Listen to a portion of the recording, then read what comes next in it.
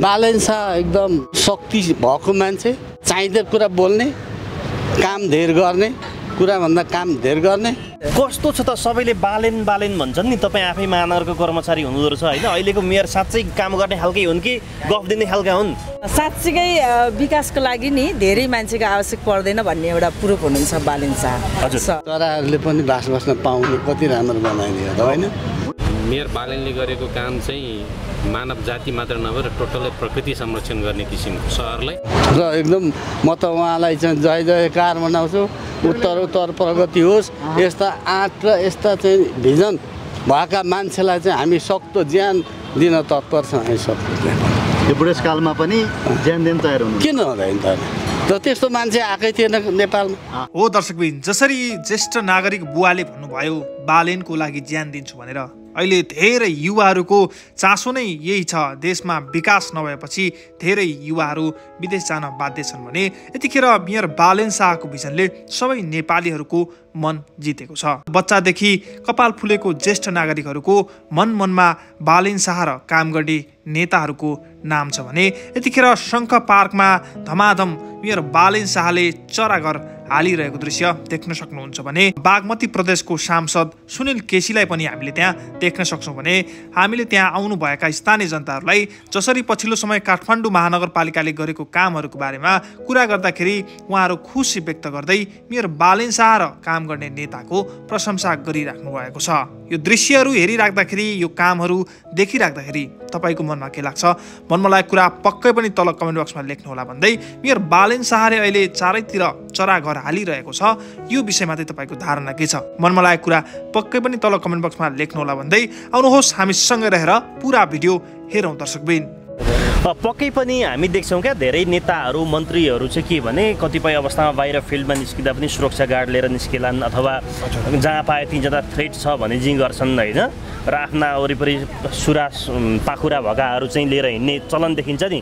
तपाईँ त निरन्तर आफ्नो संसद जुन निर्वाचित भएको क्षेत्रमा हुनुहुन्छ तपाईँका विपक्षीहरूलाई त डाहा होला आगो बलेको होला जस्तो लाग्दैन तपाईँलाई? आफैलाई थ्रेट महसुस हुँदैन कहिलेकाहीँ? मलाई ती मैले केही गल्ती नै गरेको छैन म किन डराउने? मैले गल्ती नै केही गरेको छैन मैले चार पाँचजना तपाईँले भने जस्तो यहाँ यहाँ जिमर बडीगार्ड बोकेर किन हिँड्ने? म जनताको लागि काम गरिरहेको छु जनताले माया गर्नुहुन्छ। साथ दिइरहनु भएको छ भने मलाई देखावटी गाडीमा आठ दसजना बोकेर हिँड्ने म त्यो खालको मानिस होइन। तपाईँहरूले प्रायः जसो मलाई जहाँ कार्यक्रममा भेट्दाखेरि पनि एक्लै देखिरहनुहुन्छ। म स्कुटर चढेर आइरहेको हुन्छ भनिसकेपछि हामी जनताको लागि काम गरिरहेका छौँ। अब कसलाई डाहा हुन्छ कसलाई के सोध्छन् त्यो उनको बाटो भयो। तर हामी ती निरन्तर हिजो पनि हामीले यही भनेर आएका थियौँ। हामी कहिले पनि हराउँदैनौँ। जहिले पनि जनताको साथमा हुन्छौँ। हिजो काहीँ केही नहुँदाखेरि पनि त्यतिखेर पनि थियो। आज पनि छौँ र भोलि पनि हुन्छौँ। त्यसैले गर्दाखेरि कसले के भन्छ को मेरो पछाडि लागेको छ भनेर म त्यो मतलब गरेर हिँड्दिनँ। म निरन्तर काम गर्छु र सेवा नै सबैभन्दा ठुलो धर्म हो। योभन्दा ठुलो धर्म केही हुन्छ होला भन्नुहोस् त।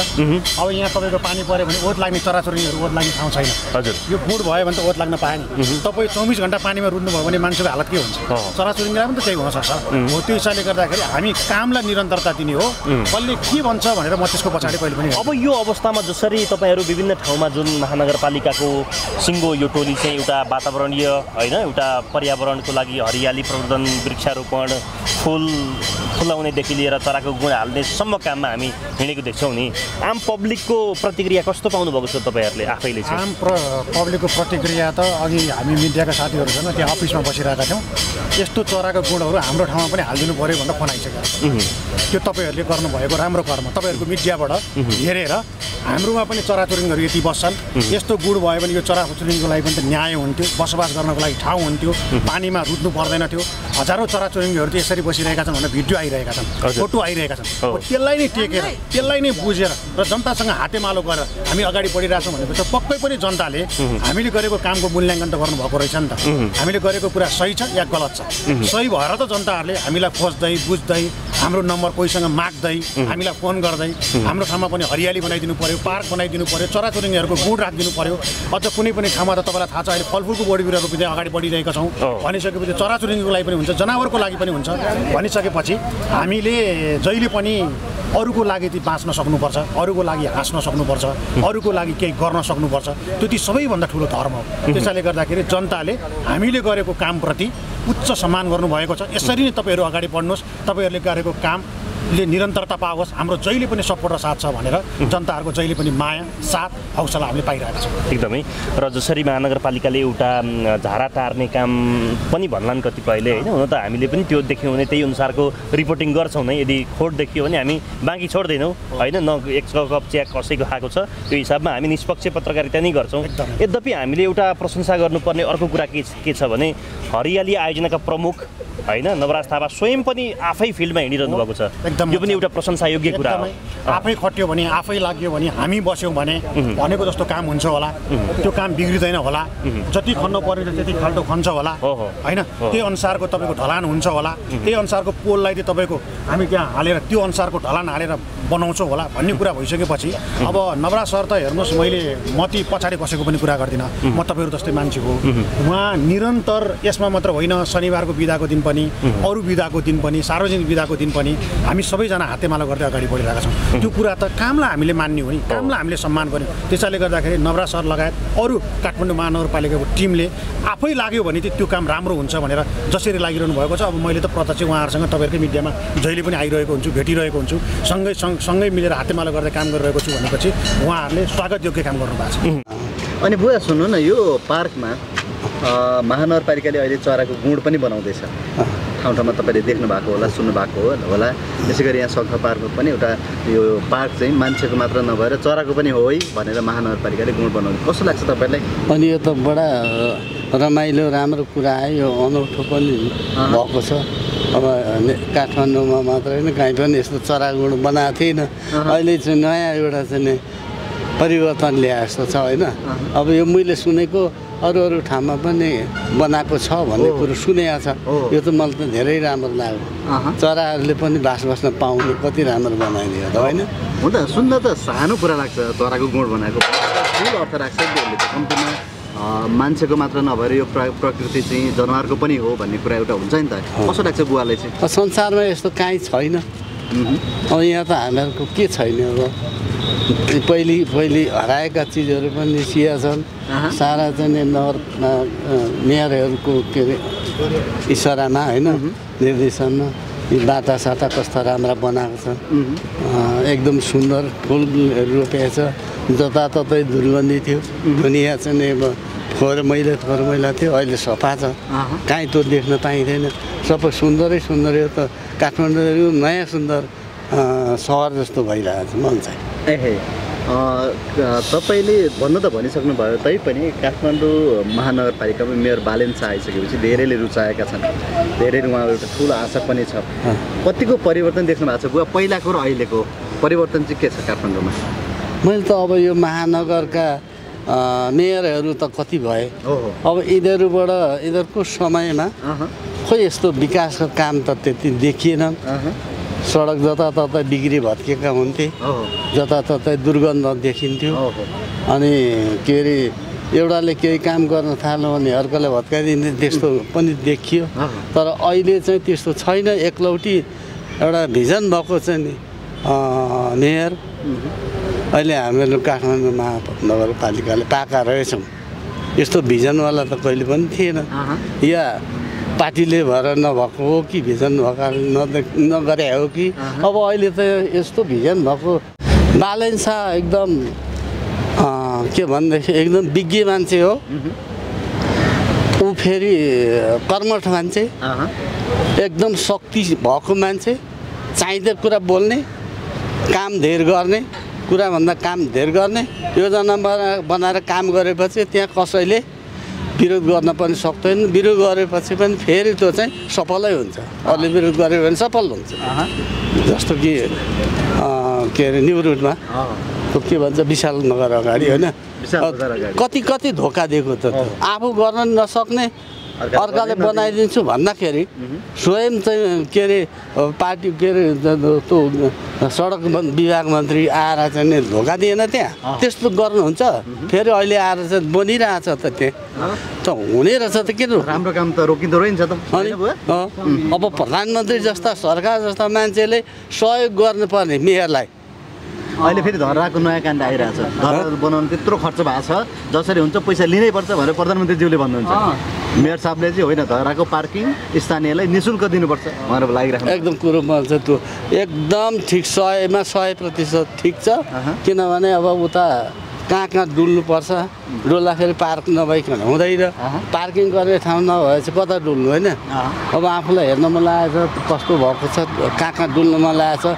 पार्किङ गर्ने ठाउँ नभएर पार्किङ गर्ने ठाउँ दिएको त मेयरले बडा राम्रो लाग्छ मलाई।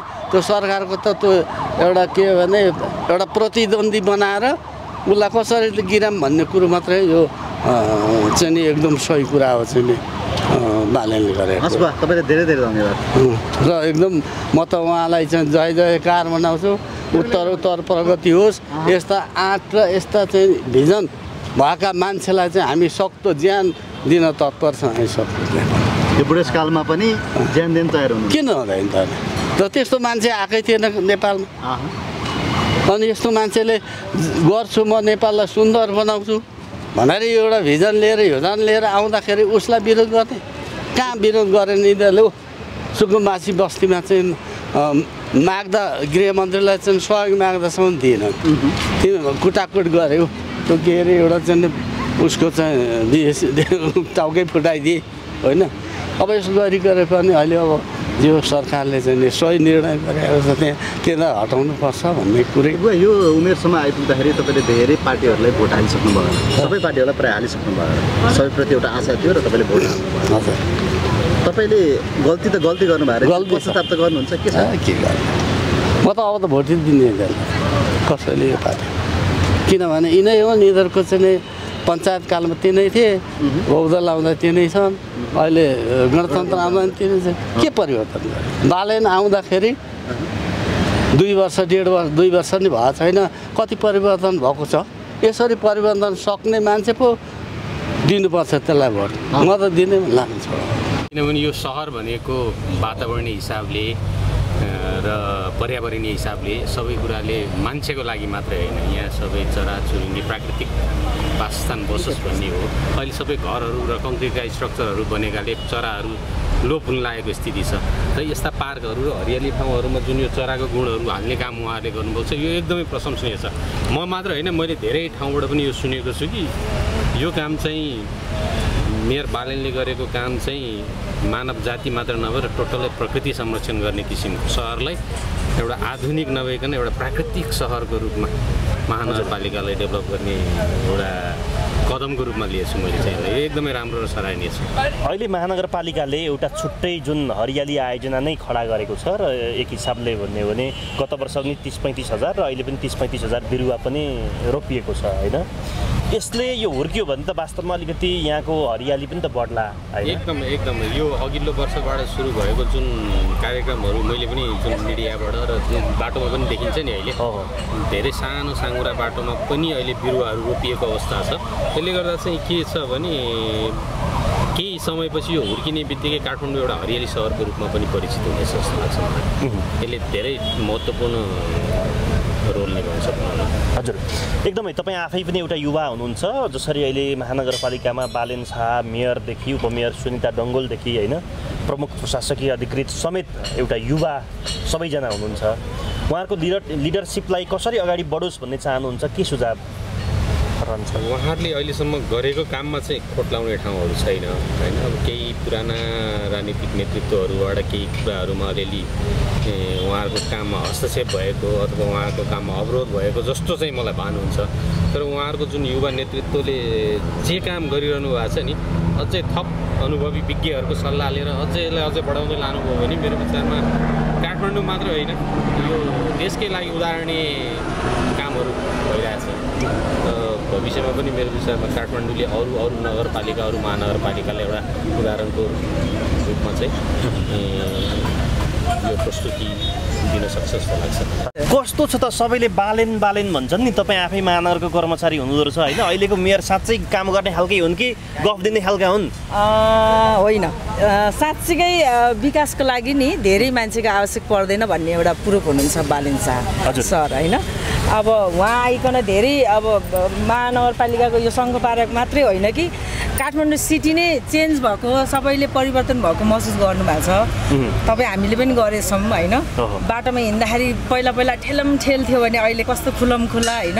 पार्किङको व्यवस्था लगायत सबै ठाउँमा हरियाली धेरै राम्रो भएको महसुस चाहिँ मैले पनि गरेको छु। हजुर। हजुर। भनेपछि तपाईँ आफै पनि अहिलेको नेतृत्वको कामबाट प्रभावित हुनुहुन्छ खुसी हुनुहुन्छ? एकदमै एकदमै खुसी छौँ। एकदमै। एकदमै हामी हामी त कर्मचारी भयौँ त्यसै पनि छौँ भएन भने बाहिरको पब्लिकको- पनि धेरै नै अब राम्रो सुझावहरू सुनिरहेका छौँ होइन? विकास गर्नको लागि धेरैजना आउनुपर्छ भन्ने होइन कि? एकजनाले पनि केही गर्न सकिन्छ भन्ने एउटा उदाहरण? उदाहरण चाहिँ बालिन शाहबाट। सिक्न सकिन्छ। सिक्न सकिन्छ। जुन अब गर्नुभएको चाहिँ अब राम्रो लागेको छ होइन? यस्तो यस्तो चाहिँ सबै सबै अब अरू चरालाई जस्तै अरूले पनि जस्तै हामीका छ नि त कुकुरहरू छ यताउता छ सबैजना अरू पशु पन्छीलाई पनि होस् भन्न चाहन्छु। चराल जस्तो माया अरू पशु पनि पाओस् पाओस् हजुर त्यही हो।